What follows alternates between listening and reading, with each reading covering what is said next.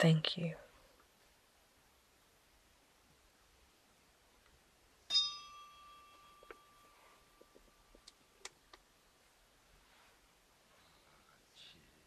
We will all offer the prayer of meditation. Good Father, help us to receive help this dawn. May our desires be fulfilled. You've said you'll give satisfaction. May we receive. May peace overflow in our hearts. May our families become reconciled. May we receive protection from curses. May our children do more well. Surely, we believe that we will plant better blessings. May we live confidently. May we have assurance. May we be bold to receive a great reward. In Jesus' name, we thank you and bless. Amen. Let's receive help this dawn. Exodus chapter 16, verse 28.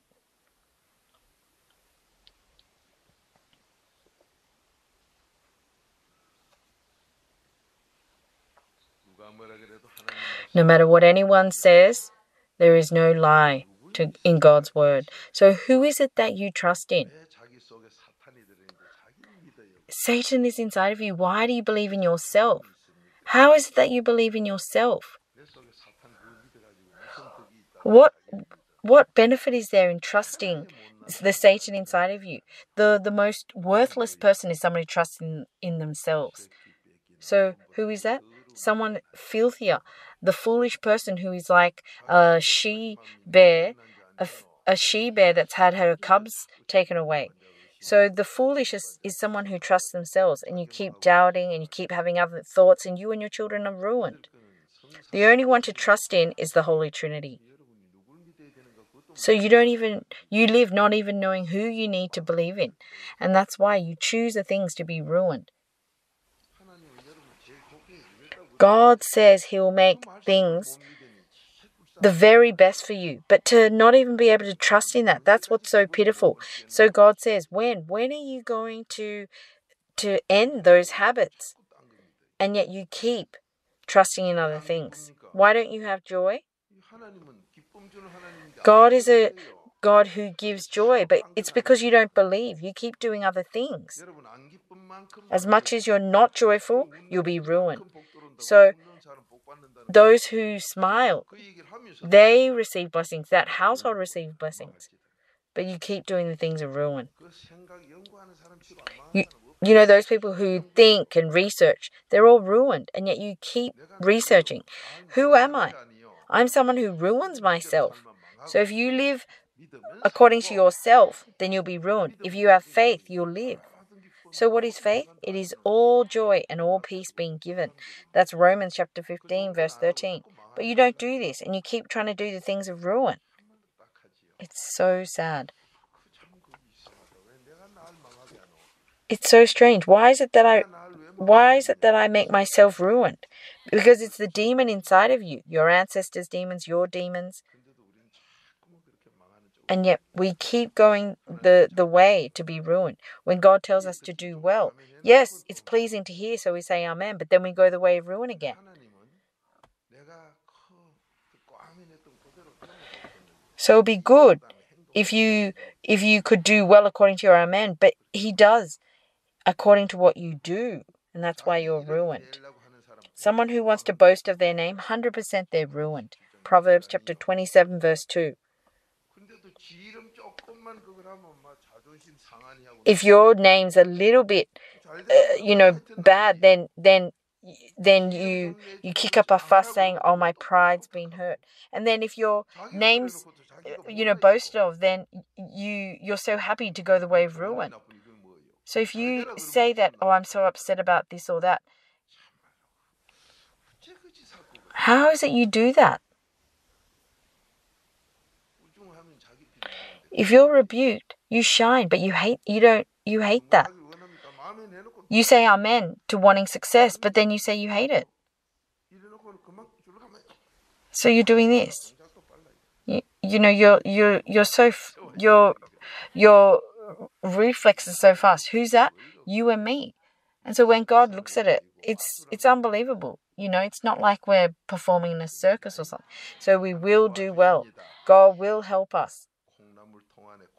In a bean sprout container, those bean sprouts, if you repent, as long as there's water, it will sprout. It will happen.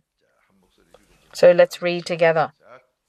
Then Jehovah said to Moses, How long do you refuse to keep my commandments and my instructions? Amen. So here it's not Moses, it's yourself. So put your name.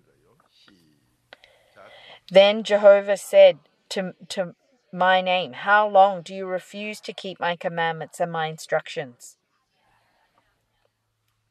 Amen. So God, he feels so frustrated. He's saying, How long will it be till you receive blessings and become a man? Why is it? You know, we we want to receive blessings. We want to do well. We want to become a man. You know, we're like, God, don't say that. I want to do well now. But God's like, how long will it be till you receive blessings? So why is it, you know, both sides, their thoughts are so different? I'm like, God's not giving. I, I'm so crazy to receive. I've been here, you know, I don't even know if I've slept or not. But we're not doing according to God's word. God wants to give so much. So it says here, how long will it be till you keep my commandments? What are the commandments? To love God and to love your neighbor. In the world, they talk about love, but they're nowhere near love. This love is the love that God gives, which is faith. So it's this love. That is the commandment. So people say love is the best. You know, they talk about gone with the wind. You know, they they say that's something that's so filled with love. They they say how good love is you know, they will say something like, "Oh, these days I'm so satisfied with with love." But if you're drunk, you're not in your right mind. It's only God's love that gives us satisfaction because we've been created with that love. So it's only the Holy Trinity's love that makes us satisfied, that makes us happy, that brings about miracles. As much as we love Him, He says, I'll give you money and you fill up your storehouse. So that's the key. But those people who haven't eaten of this love, so uh, a bean sprout that doesn't drink the water, it won't grow. No matter what you give it, it won't grow. You know, no matter if you cover it with a silk blanket, it's not going to sprout. A month later, it's still a dried bean. It's only it's only water. It's only by repentance that it will sprout. So God says to take this satisfaction by keeping His commandments, His statutes. So these statutes is are the regulations that God has decided upon to move them to actions. So we say we want to do well, we want to receive help at dawn. But God's like, are you going to receive help or not? So then what's what's wrong? It's me that's wrong. I'm not doing the duty of, of man. If I did do the duty of a man, then God wouldn't say this. So us living, I think I'm living well, but I'm living as an enemy of God. So may we realize this. So when when is it that I can get to the commandment? When when I can become someone who can do these commandments to to act these commandments. So yesterday I committed a lot of sin. It was some grandmother from our church. I was in a church. I was in a car and I was passing her by. And I just and I passed her just thinking, "Oh, she's there." So one of so the so I was one of the deacons was driving me and I thought, "Oh, I should have met up with her. Why? Why is it that I just go went past her?" So that's how bad I am. That's how bad I am. But you look at people like that, I don't see that person here. But as much as you sin, all you ever do is just gauge for people's reactions. If you haven't repented, a child doesn't gauge people's reactions. As the more you sin and you become an adult, that's when you gauge other people's reactions. As much as you sin. So we talk about how, you know, they increasing their scheming. But someone who is who is um innocent, they don't gauge people's reactions.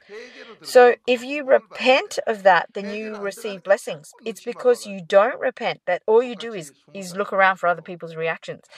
So a 20-year-old, someone who's grown up badly, they're they're so quick at picking things up, but but so they so they have a lot of evil, but someone who's grown up so um, so sheltered, they're not quick at gauging people's reactions. So if we've grown up to age 20, it seems like, you know, we don't know anything, but the sins of our heart, the sins that the ancestors passed down, have all been stored up so much. But someone who keeps who keeps getting you know, hit this way and that way. They have a lot of they can they're quick to gauge people's reactions. But there's two types of wisdom and knowledge. So in the world, there's two types of wisdom and knowledge. If you know this, then you're inside of Christ, you're inside of the Lord. Otherwise, you don't know. You know, other religions, we shouldn't compare, but other religions, they don't know this. They don't have this. You go, some world university professor, they don't know there's two types of wisdom and knowledge. So they don't know if it's a wisdom and knowledge that makes you ruined or succeed. So that's what's so sad. But even more, even more so, churches, they don't know and they just they just talk about wisdom and knowledge. Sometimes the wisdom makes you live sometimes you know it makes you ruin and so they're confused. God's wisdom makes you live. So it says how long will it be till you keep my commandments and my instructions? God he's saying when are you going to receive blessings? When are you going to have your desires fulfilled? He's rebuking us. And yet we're mistakenly thinking that we do want to do well. So our thoughts isaiah chapter 55, verse 8. Let's find that. They're enemies with God. They're different with God's thoughts. So it's your thoughts that ruin you, but you keep living according to your thoughts.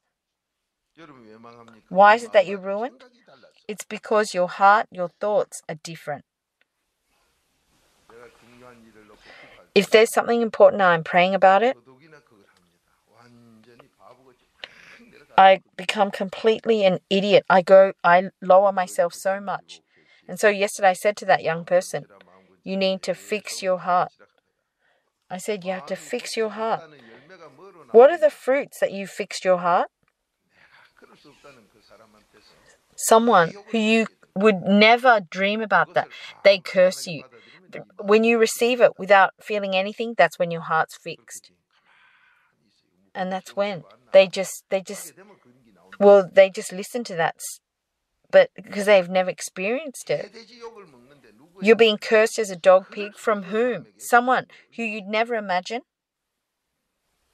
You'll receive curses from them. God tests you. Someone who unimaginably you know in a place that it could never be like that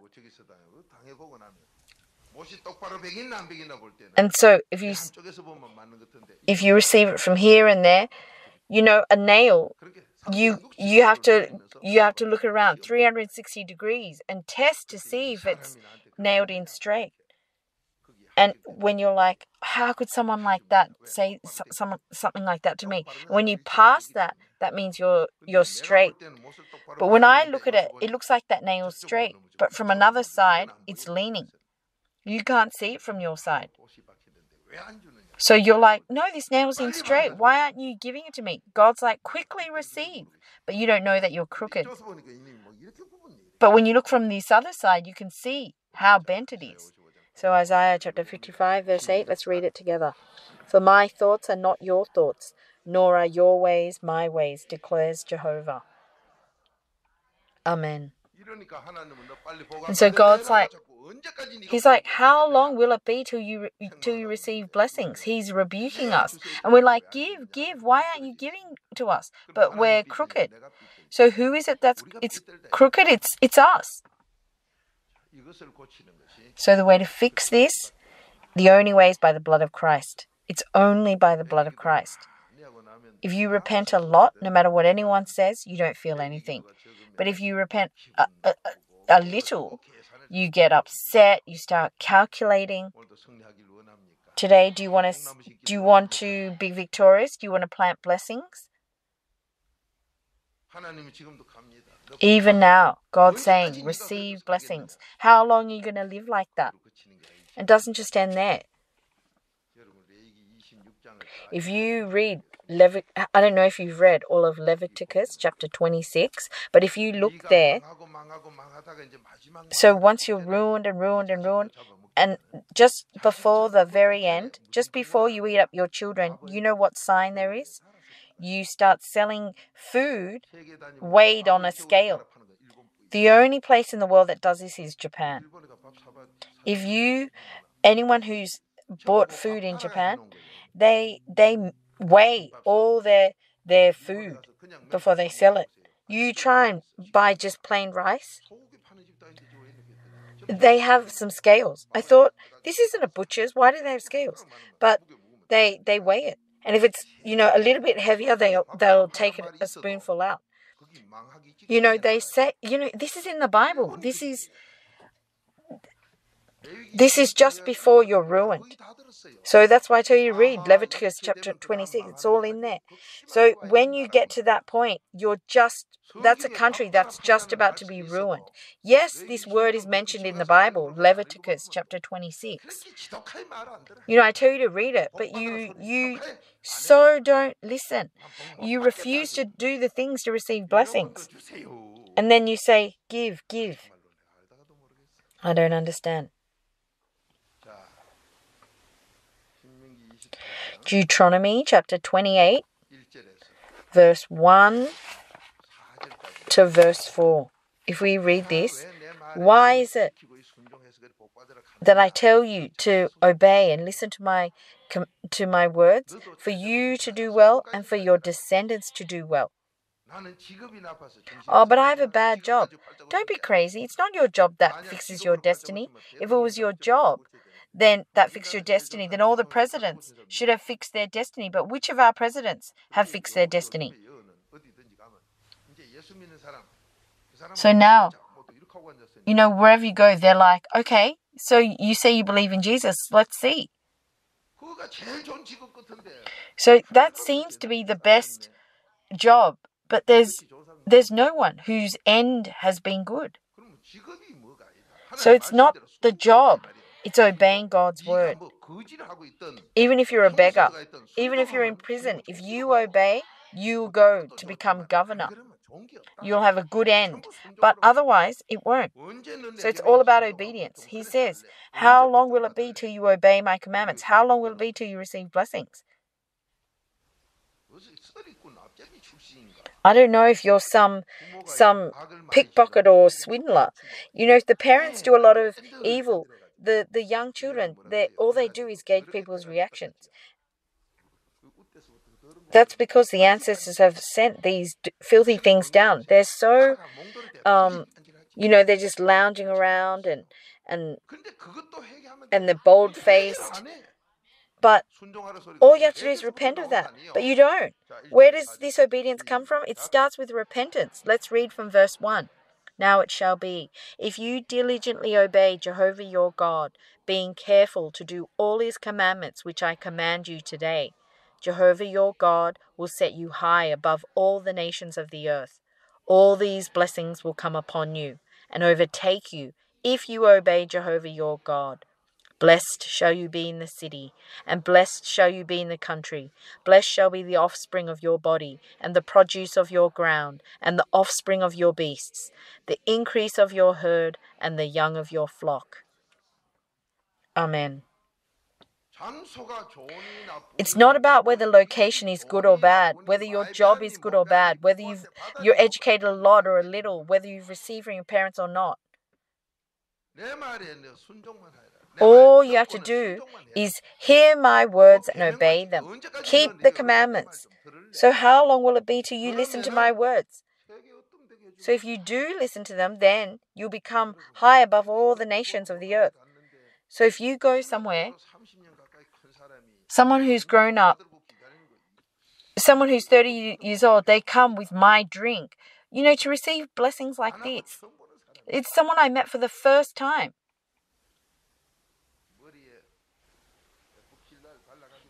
I don't know if they put fly spray on their hair or not, but these days, I don't know if it's hedgehogs are so popular, but how is it? I don't, I don't know what skills you need to make your hair spiky like that, but his hair was so strange.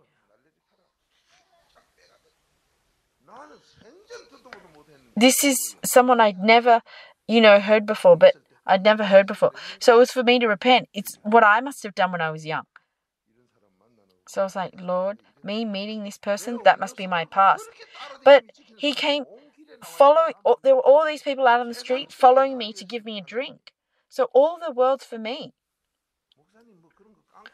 Oh, Pastor, why are you kicking up? Why are you kicking up such a fuss about someone giving you a can of drink? You know what? A hand-sized cloud. That's when the showers are coming. So they're my blessings. The whole world has been prepared for my blessings. So how long will it be till you receive blessings? How long are you going to suffer for? So you say you're a cleaner on the street, or you're just selling some radishes, or you know you just lug a cart around selling apples. That's why you don't receive blessings. No, here it says the blessings will be poured out. So wherever you are now, you can do well unlimitedly, even your children. But it says, How long will you be till you live according to my word? We don't live like this. So from now, let's have a new start. Let's read again from verse 1 to 4. So, how long will it be till you receive these blessings? You say, Please give it to me now, but you're somewhere else. How long will it be till you can be till you can receive this? When you see someone next to you who is crooked, and you're like, oh, they're filthy, I'm going to have nothing to do with them. That's a fake. That's someone who can't receive blessings. When you see someone who is crooked and with love to say, you should live like this every day to exhort, to have that love. That is someone who keeps the commandment. If you're like, I don't know about you, that's someone who is evil. That's someone who's living according to their thoughts, a dog pig, a foolish she bear that's had their cubs taken away. You shouldn't meet someone like that. So, is the person next to you? If they never tell you this is what you should do to to to be right, you have to know there's someone filthier than a she bear that's had their cubs taken away. So the person who has to say that, hates to say it, is a problem. Someone who has to hear it is a problem. But when you hear that and you say thank you and you fix it, but if someone says that to you and you're like, do you have to do that to go to heaven? That's a that's someone who is cursed. That's someone who doesn't repent. That's someone who lives according to their thoughts. So they're ruining themselves and their children. Let's awaken from this and receive blessings. If you say to someone right words, they hate it. Many times I've witnessed to you this lady who's a university professor, she was so thin from cancer, like she had cancer. And she came to me for counseling. You don't even need to, to look. I said how you tore down people and slandered people. If you have a heart of envy, it's your bones that rot. That's Proverbs chapter 14, verse 30. If you're envious and jealous and you grumble and complain, your bones rot. And so you have all these diseases like these these terrible diseases like cancer. And I said, Who is it that you can't forgive? And she was huffing and puffing and saying how her husband deserved death. And I said, If you don't forgive your husband, you cannot live. This is something so basic to the faith. But fake churches, they never say to forgive others. These pastors, they themselves can't forgive others and they're tearing other people down. And so she was crying and talking about her situation. Those tears are demons just bewailing their their their hard life. That's someone who's foolish, a she bear that's had their their um cubs taken away. They're just grieving about their bad luck, you know. So I so I rebuked her so severely. That's the right person. That's the right friend. But but people don't do that. Hebrews chapter 3 verse 13. Who is it that says correct words to you, whether you hate to hear it or not? Even though I'm so filthy, you know, it's the pastor or, or my wife that says correct words. Even spouses don't want to say it to each other. They're like, oh, they're filthy actions. You know, that's the evil person. Whether they want to hear it or not, you have to be able to say it. And you have to first repent of that sin as mine and then say it. Then they'll receive it. But you don't do that, and that's why they won't receive it. And so that person later came to me. She had these notebooks, about three or four. Every time her husband had sinned, you know, he had lipstick on his shirt, you know, what year, what month, what time. And she had a whole stack like this. That's why she was receiving disasters and curses. The evil always remember evil, the righteous only remember the good. So because she'd only been filled with evil, that's why she had evil. You know, evil comes out 24 hours a day, but to to remember that. So you by someone what what people say, what they remember, that's how you know who they are. So what am what am I like? From this time, let's receive help and let's change it to good. Those people with cancer, those who aren't joyful, they're only remembering other people's bad things. That's what I was like in the past. I wouldn't remember the good things, only the bad.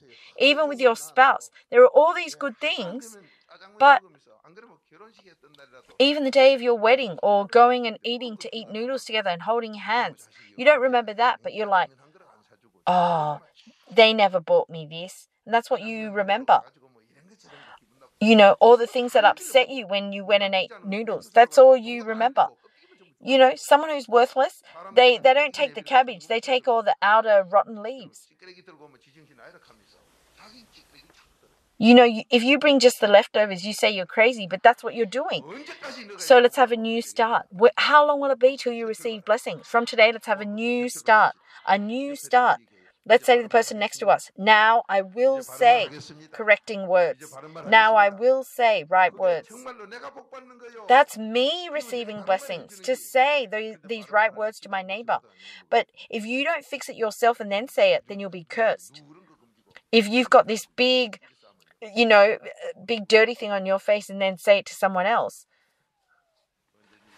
you have to always repent first yourself. And then when you have genuine love, and then to say, so wanting other people to do well, that's me doing well. That's the commandment. That is truly the commandment. Busan First Church Saints, let's do well. How long will it be till you receive blessings? That's what God is saying. But you're like, God, when are, when are you going to give? So who's right? It's God. Where it's me that's wrong.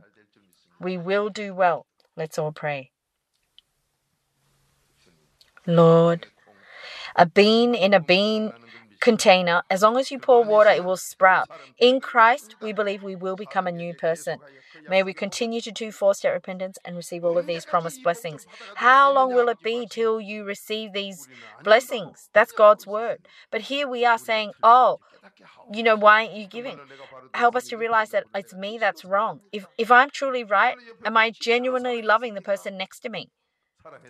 If I have loved, why is it I haven't repented of their wrongs as mine and then to pierce them? If you fix these actions, you'll receive blessings. Why can't I say this? From now, may we become someone who keeps the commandment to love my neighbor as myself. We confess we can't do it by our strength. In Christ, when God's love comes to me, and I'm satisfied by it, that's when I can love my neighbor as myself. That means whether I go in or out, I receive blessings. It's regardless of my job or my position, my status, that I'll receive blessings. Lord, we believe it will surely happen according to this word that our descendants will receive blessings, even our beasts, whatever our work is, blessings will be poured out. May we pass these down to our children. May we share it with our neighbors. In Jesus' name, we thank you and bless. Amen. How long will it be till you receive blessings?